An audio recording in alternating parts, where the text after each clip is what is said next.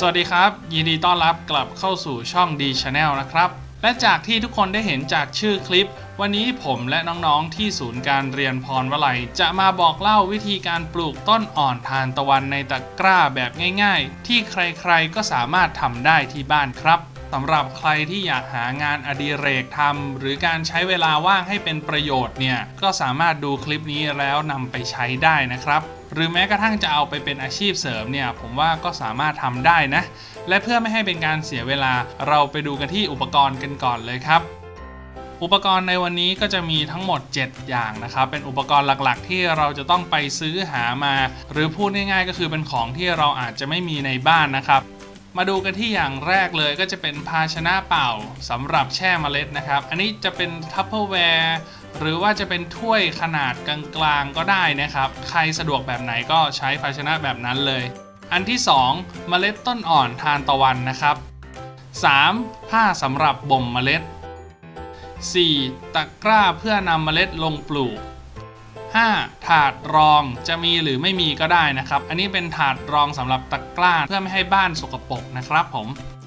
6. ฟิวเจอร์บอร์ดเพื่อป้องกันแมลงรบกวน และถ้าให้ดีเนี่ยผมแนะนำให้ตัดฟิวเจอร์บอร์ดให้พอดีกับปากของตะกร้านะครับ เพื่อให้สามารถจัดระเบียบการเติบโตของต้นอ่อนได้ด้วยนะครับ และ 7 ครับ สิ่งที่น่าจะสำคัญพอๆกับเมล็ดก็คือดินครับผม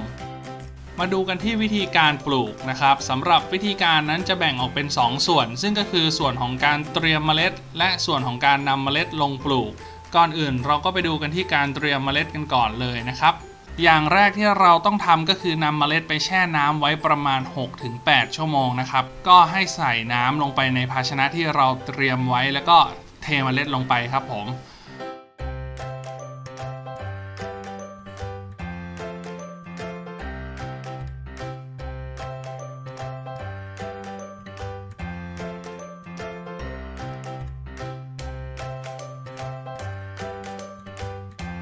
อย่างที่ 2 คือบ่มเมล็ด โดยการนำผ้าที่เตรียมไว้มาห่อเมล็ดไว้เป็นเวลา 18 ถึง 20 ชั่วโมงนะครับ เพื่อให้เมล็ดมันพร้อมปลูก สังเกตได้ก็คือตัวเมล็ดเนี่ยมันจะแตกออกแล้วก็มีรากแทงออกมานิดนึงนะครับ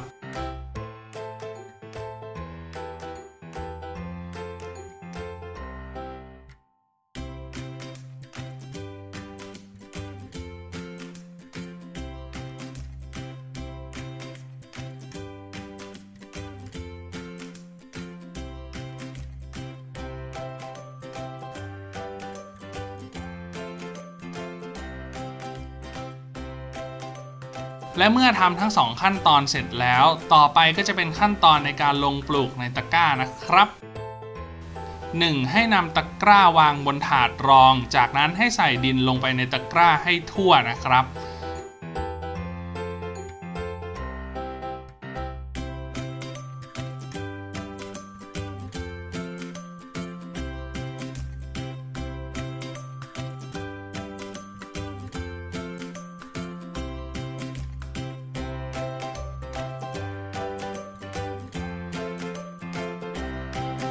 2. พรมน้ำลงบนดินให้พอประมาณ อย่าให้ชุ่มมากนะครับ อันนี้ต้องระวังหน่อยนะครับ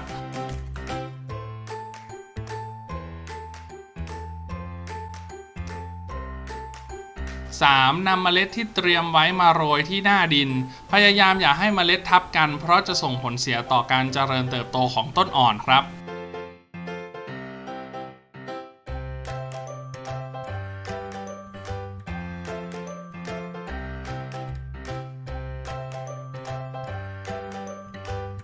4. นำดินที่เหลือมาโรยกลบเมล็ดบางๆ อันนี้อย่ากลบหนาเกินไปนะครับ เพราะเดี๋ยวจะกลายเป็นอุปสรรคในการเจริญเติบโตของเมล็ดเนาะ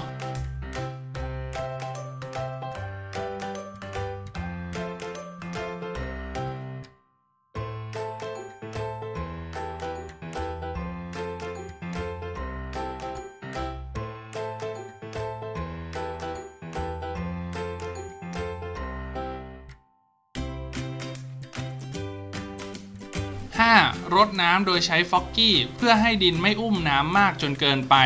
การรดน้ำเนี่ยให้รดน้ำสองรอบนะครับ เช้ากับเย็นเท่านั้นเนาะแล้วก็ใช้ฟอกกี้รดน้ำบางๆ ก็พอแล้วนะครับ 6. ให้ปิดตะกร้าด้วยฟิวเจอร์บอร์ดที่เตรียมมา และนำไปเก็บไว้ โดยช่วงแรกเนี่ยไม่ต้องนำเมล็ดมาตากแดดนะครับผม และนี่ก็จะเป็นภาพการเจริญเติบโตของต้นอ่อนทานตะวันในแต่ละวันที่ผ่านไปนะครับ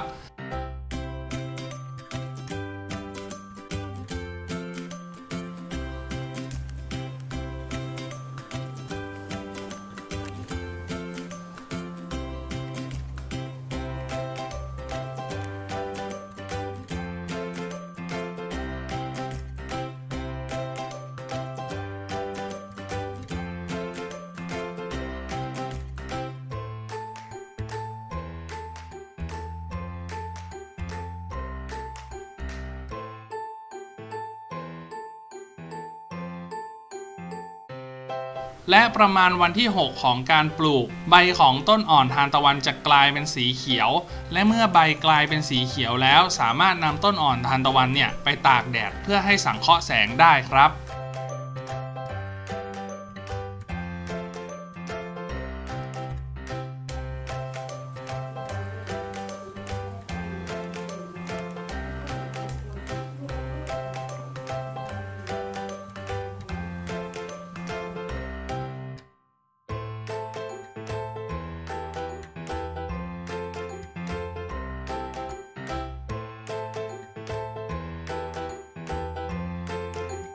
การปลูกเนี่ยจะใช้เวลา 7-8 วัน เมื่อถึงเวลาเก็บเกี่ยวสามารถเก็บเกี่ยวได้โดยการนำกันไกรมาตัดที่โคนของต้นอ่อน เพียงเท่านี้เราก็จะได้ต้นอ่อนทานตะวันไว้สำหรับปรุงอาหาร หรือนำไปใช้ประโยชน์อื่น ๆ แล้วครับ